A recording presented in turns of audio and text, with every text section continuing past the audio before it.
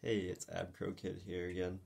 Um, now I've got my Riccar, um, what do they call it? SupraLite, uh, the Sand Trap model. And there's the owner's manual. And I've had this about like, oh, two, three months now, something like that. Um, I went online to Riccar. I periodically go on there and Simplicity's websites and a bunch of other vac sites just to see, and noticed that this wasn't available anymore. So I was like, what the heck? So then I like kind of forgot about it, and then I called to Tacony and um, asked them, I'm like, what's going on? And the one lady said, oh, it's probably off the website because there's a part on back order and they take the machine completely off the website. And I'm thinking, well, what could be different from this model compared to the other ones um, that are like this, the other top of the line model. And so I wasn't convinced, and then I talked to um, Tom Gasko, the museum director, and he said, yeah, they had stopped making them, which is what I thought, and it had only been like a month, so I kind of panicked. I've always, I should have just gotten one before. So what I ended up doing, and what he suggested too, and I was going to do anyways, was calling a bunch of dealers that sell Riccar, because my local ones don't, um, my local Riccar dealer isn't the greatest, um, so he usually never has any machines in stock. Um, so I called a bunch, and I found a place in Texas that had like eight of them. And I told the guy, I'm like, when you ship it, I want it the original box put inside another box to protect it, um, because I like to keep my original boxes. Um, in case I ever decide to sell it, I think it's worth a little bit more and whatever. And it came in uh, another SupraLite box because I'm pretty sure the one it came in was not the original box. And they went ahead and filled out their information in the little sticker and they wrote on the bottom of it too. They put these little marker these marks there. So I'm kind of pissed about that. Um, so I mean I've gotten over it. It's not. I guess it's really not the end of the world, but for me, it's just like I wanted it brand new in the box, just put inside another box, and the fact that it was taken out, written on, and all this other shit just really irritates me because you didn't follow my directions. And when I'm spending a shit ton of money on something that's not even in production anymore, I was a little bit uh, annoyed. And I never even, I just didn't even call him back. But if you know what, it's fine. I've gotten over it. Um, but I mean, I really wanted this model because green is my favorite color, and I'm also a golfer. So having the Sand Trap logo right there is pretty cool with the golf flag. Um, so, in Simplicity's version, I just like you know I prefer the green like I really do like this green. Actually, it's a nice green. It's not like some neon or that like pastelly green that they have in their other ones. In the simplicity version, I just don't like the look of it. Like I go back and forth with Riccar. Like I like some Riccar's like designs better than simplicities and vice versa. So this one I prefer the Riccar design. Um, so bottom line, I was able to get one. Um, like I said, had a little issue there because no one fought listened to my instructions, but uh, nonetheless, it's a good machine. This is, you don't know, this is the top of the line. Well, it's no different than the other top of the line one with the metal brush roller and the sensor that shuts it off. Really stiff bristles.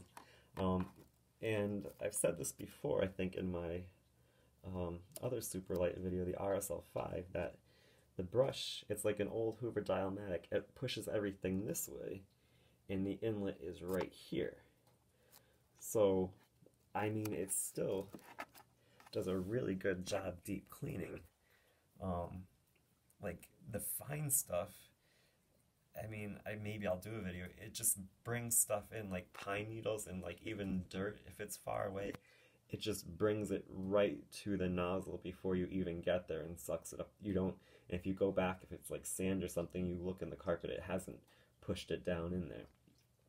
But for other things, this feature with the brush going like that, like larger items, you do hear them clanking and clanking and clanking and clanking around in there before it's actually picked up, if not just kind of spit back out as you push the machine forward.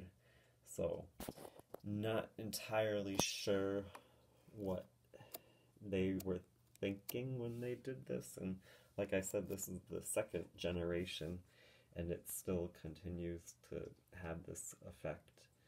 Um, you know, it's also weird that the brushes or the belt is on the right hand side of the machine, which on most vacuums it's on the left, but um, whatever. I guess that that would make more sense if they put the belt on that side and they left the same brush roll design and had the inlet on this side, and then it'd be might be a little bit more effective. Not that it doesn't do a good job already, but as far as my lightweight machines go, this is just all around amazing.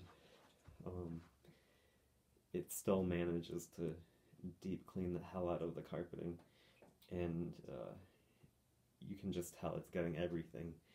I mean, it just and it's not that loud, and this bag is somewhat it's hard. Like it's got it's rigid, but it also lets the air through, so um, it's kind of nice that it doesn't puff out, which I know some people like the whole puffing out of a bag when it turns on, but for getting under furniture, the fact that it maintains the slim profile is kind of nice.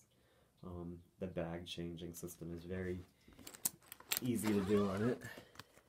Sorry that I'm taking seven minutes of just talking. I know that will annoy some of you, but um, I don't really want to do it because it's got dirt in it. But you just pull it up, pull it out of this little tray, and then if you had a new one, you just slide it back in and push it until it clips, and then you can pull the two zippers up like that.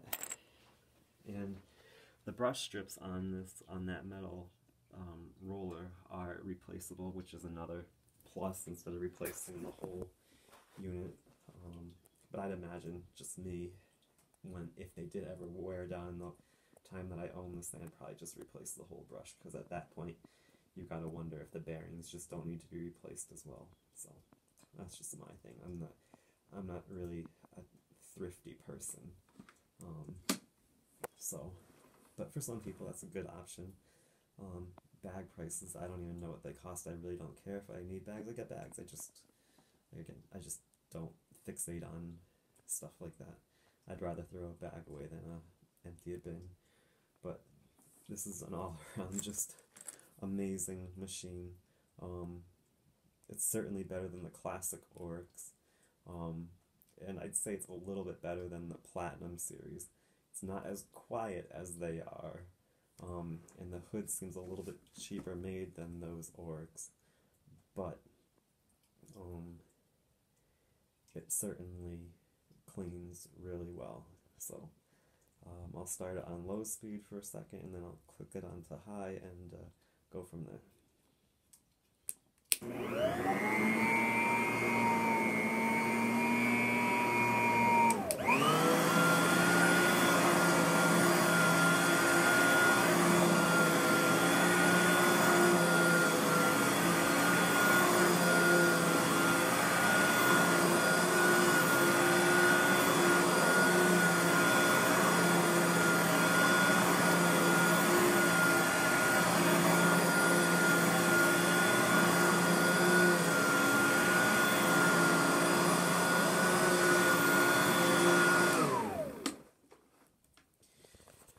So yeah, it cleans really nicely. It really does a good job grooming. Um, it's basically assaulting the carpet. I mean, you can hear it. It's just like that, just that tone from it, just tearing it up. I mean, not literally tearing it up, but um, yeah, it just does a great job. And it pulls itself. Like if I didn't hold on to it, it would shot across the floor. especially my carpet being the